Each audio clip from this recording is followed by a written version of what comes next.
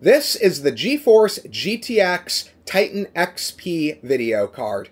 This was an early 2017 release based on the Pascal architecture. This is effectively the big brother to the GTX 1080 Ti. Um, this GPU was sold anywhere from twelve to fifteen hundred dollars when it was new. Um, it's got a few benefits over the uh, over the 1080 Ti. However, those benefits never really were particularly manifested in game performance, and so it was very, very, very bad performance per dollar gain over the 1080 Ti. Though technically, on paper, yes, it is more video card. Um, this would have been a more ideal option for early AI type tasks, deep learning, uh, maybe some video editing, things such as that. But it was never a superior gaming GPU.